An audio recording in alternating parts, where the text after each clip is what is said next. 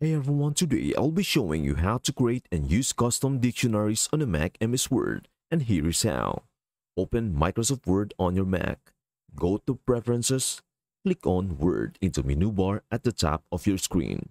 Select Preferences from the drop-down menu.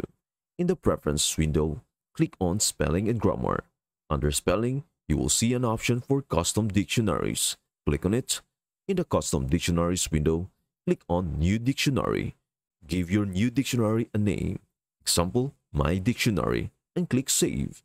In adding words to your custom dictionary, open a Word document. Type the word you want to add to your custom dictionary.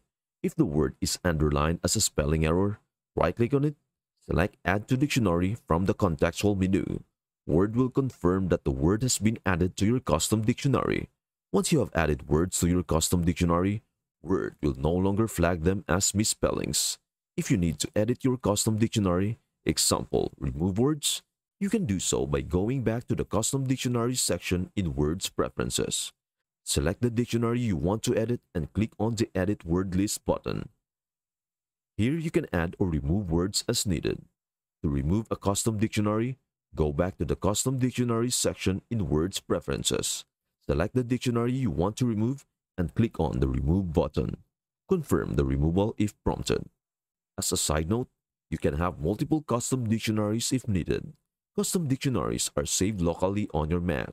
Make sure to name your custom dictionary something memorable so you can easily identify it among other dictionaries.